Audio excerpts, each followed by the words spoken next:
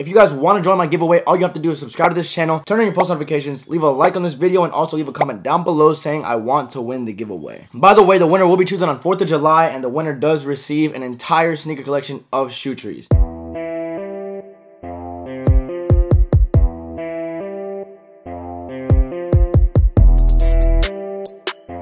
Hey yo, what's good you hypebees? Welcome back to the channel. If you guys are new here, make sure to hit that subscribe button. And also, don't forget to turn on your post notifications because I do post videos like this every single Monday through Friday. Anyways, today we're going to be getting into every single Yeezy that's going to be releasing for the rest of this year as of today's date. Because there is always a possibility of there being other Yeezys added up in the lineup. So to start off, we do have the latest release that dropped this past Saturday, June 9th. It was a Yeezy 500s in the Supermoon Yellow colorway. And as we all know, these were mass produced and the resale on these, I don't even think they have any resale at all, which is what most of you guys care of and which is why I talk about it the most. So yeah, right now I'm going to StockX see what their price is right now. So you can buy them for 249 They're like 30 to 40 bucks less than the blushes, which means their resale is really not that high. And on top of that, if you do sell it at their price, you're not really going to get much profit because once you go to sell now, you go to like 215 and you're actually getting less than what you bought them for because I know you have to pay shipping as well unless you got them in stores because they are $200 retail. But anyways these were mass produced and they have no resale whatsoever. On to the next sneaker. We do have another one releasing at the end of this month. It is going to be on June 30th and that is the butter colorway of the 350 V2 these are going to have a decent quantity as well which means the resale is going to be fairly low on them and I did make a video I think speaking about them. And I also made another video speaking about everybody going to be able to get the Yeezy Creams 350 V2s according to Yeezy Mafia. They're going to be making millions of pairs and they will be dropping in July. So next month you will be able to get your pair. If you missed out,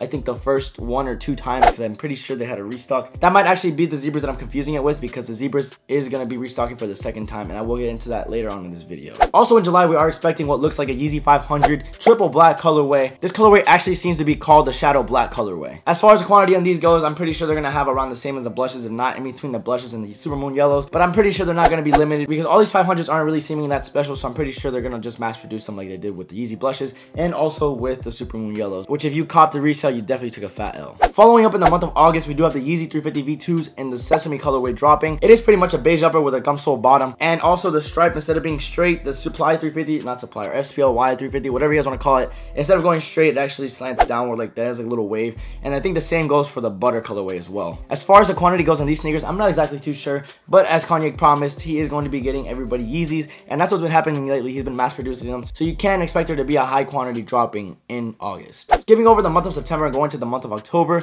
we do have three Yeezy dropping and two of them are actually a restock. It is a zebra colorway and also the super moon yellow colorway. I did also make a video on that and if you guys want to check it out, I will link that right over here as well. However, the other sneaker that's not restocking is the Yeezy 500 in this all gray colorway. This all gray colorway is supposedly called the salt colorway, which of course, like I said, 500s are to have high quantity, so don't expect to buy these for resale. Honestly, Yeezys is not the move for resale anymore. It's onto the off-whites, so stop copying bricks, stop taking those L's. I mean, you probably think you got a W because you got Yeezys now, but you definitely took an L if you're trying to resell. Moving on to the following months, we do have three Yeezys dropping. However, we don't know the exact dates or the exact months because they're not confirmed yet. However, it does say that they're to be dropping in the fall, so you guys can expect them during the months of fall. So just stating these sneakers in no specific order and what they're going to drop because I don't know exact drop dates. The first one on the list is the Yeezy 500 Ultraviolet colorway, which is pretty much an all purple colorway, which are going to be $200 and you can expect all other 500s before this one to be $200 as well. Next up is finally another Yeezy 700 colorway.